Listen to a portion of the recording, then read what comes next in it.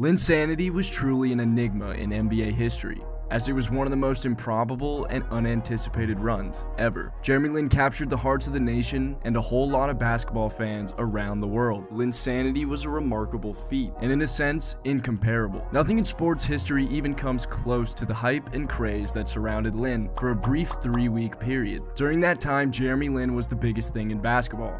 And looking back on Linsanity's Cinderella run, it really makes you realize how special of a time it was in basketball history. While he certainly will never make the Hall of Fame, his story will live on for generations. A little over nine years ago today, Jeremy Lin authored one of the quintessential moments of this decade in sports. With the Knicks and Raptors tied at 87 in the final seconds at Air Canada Center, Lin calmly pulled up for a dead-on three-pointer from the top of the circle, and his life would never be the same. Lin puts it up.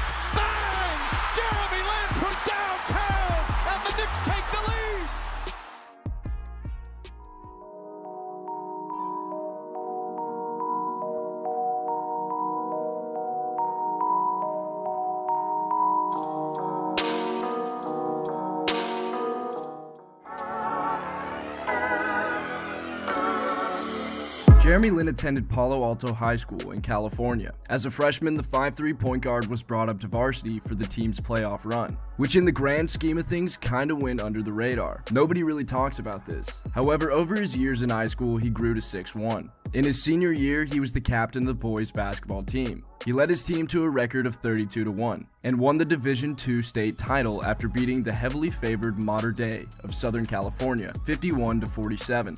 He was awarded the Northern California D2 Player of the Year. Lin averaged 15.1 points, 7.1 assists, and 6.2 rebounds, while also adding on 5 steals a game during his senior season. However, he never received a scholarship offer from any school in the country.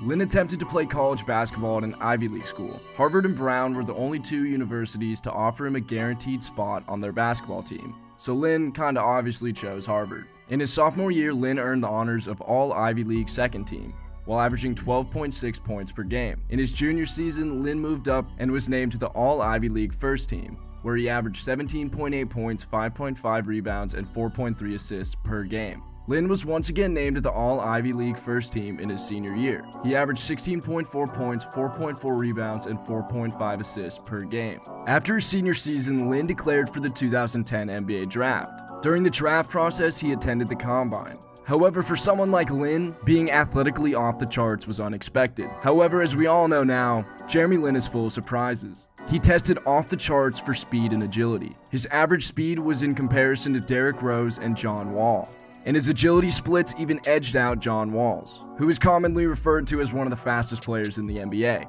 However, even after all of this and lighting up the combine, he ended up going undrafted. Had he been drafted, Lin would have been the first Ivy League player drafted since 1995. Shortly after the draft, Lin had offers from the Lakers and Mavericks. However, he decided to sign a two-year deal with the Golden State Warriors. He made the opening day roster, however did not make his NBA debut until the second game of the 2010-2011 season.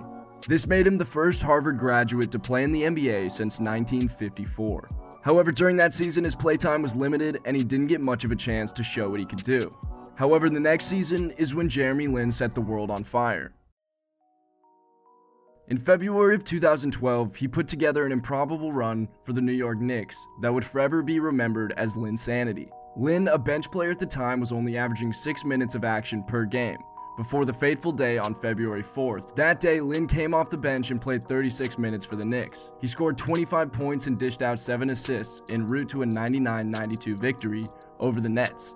His life would never be the same after that performance. Jeremy Lin put a struggling Knicks team on his back for 3 weeks, leading them to 7 straight wins and 10 wins in 13 games. Lin averaged 22.3 points and 9 assists per game over that magical stretch. He scored a career high 38 points against the Kobe Bryant led Los Angeles Lakers on national television. Lin's rise to stardom was unbelievable in its own right. But it was even more unprecedented considering what his career was like before Linsanity started.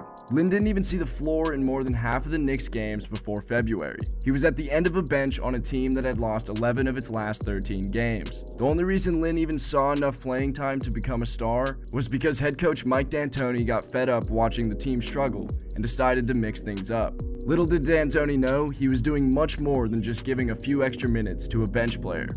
Lin then exploded for over 20 points in six straight games. On February 14th, Lin solidified his legendary status by hitting a game-winning three against the Toronto Raptors. He scored 27 points and tallied 11 assists in the game.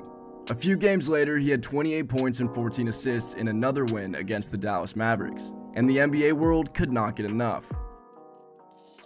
Jeremy Lin tore his meniscus in April of 2012, putting an end to Linsanity for good. He sat out the rest of the 2012 season and was cut by the Knicks afterwards. Since then, Lin played seven more NBA seasons with six different franchises. Lin started in Houston with the Rockets, where he started all 82 games and averaged 13.4 points per game in 2013. A year later, he moved to more of a bench role and his minutes diminished. He did, however, record the best shooting numbers of his career. Lin signed with the Lakers in the offseason and went on to shoot a career high 36.9% from 3 in 2014. Again, his minutes and points per game dropped from the previous year. Lin went on to play for the Charlotte Hornets and the Brooklyn Nets in the next two seasons. He was a starter for Brooklyn in 2017 and averaged 14.5 points per game, his highest since his season with the Knicks. However, injuries started to pile up for Lin around this time. He missed 46 games for the Nets in 2016 to 2017, but he finished the year strong. Unfortunately, Lin ruptured his patella tendon in the season opener the next year. He would end up missing the entire season. Lin returned to the court in 2018, where he played for both the Hawks and Raptors as a bench player. His final stint with the Raptors was the worst shooting period of his career, and Lin was forced to move on from the NBA following the 2018-2019 season. After his NBA career had finished, Lin signed with the Beijing Ducks of the CBA for the 2019-2020 season, when it was clear his NBA options were limited.